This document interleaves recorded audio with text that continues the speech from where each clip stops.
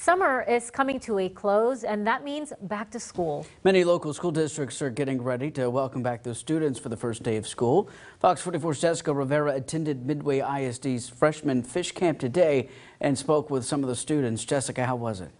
Adam, the first day of school can be scary, but Midway ISD High School made sure to welcome the incoming freshmen with open arms.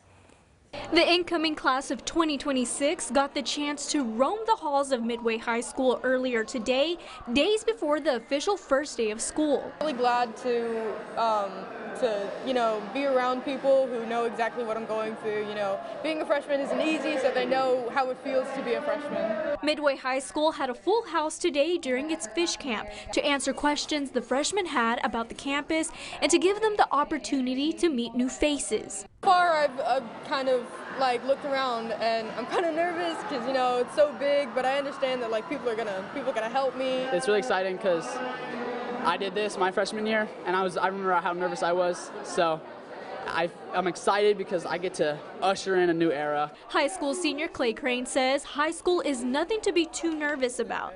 He shares some words of encouragement for those who will be walking through the halls for the first time on August 18th. Get involved because if, when you get involved, you get a group, and once you get in that group, you stay in that group. And it's really good. I joined swim my freshman year, and it's been great. Today's fish camp has helped incoming freshman Julie Aiken figure out what she wants to do this school year. I'm really excited for high school because, you know, um, uh, I get to be in band and that's like how I'm going to finish off my high school years. I mean, my entire family was in band, so it's kind of nice to carry out a legacy. Midway ISD will be hosting more back-to-school events as we get closer to the big day. For more information about the first day of school, you can go to our website, fox44news.com. In the studio, Jessica Rivera, Fox 44 News.